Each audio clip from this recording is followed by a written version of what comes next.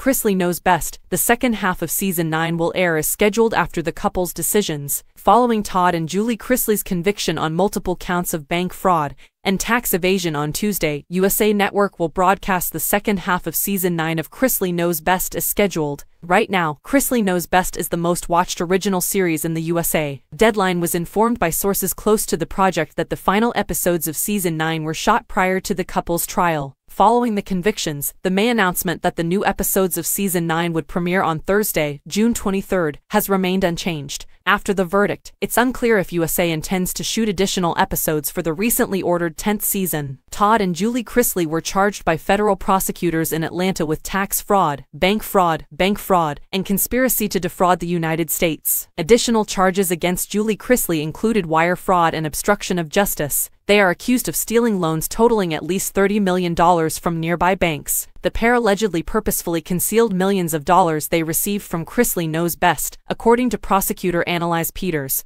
October 6th is scheduled for sentencing. They might serve up to 30 years in jail. The Chrisleys were freed on bond, but the judge ordered them to undergo home detention and take part in a location monitoring program, according to a court document that Deadline was able to obtain.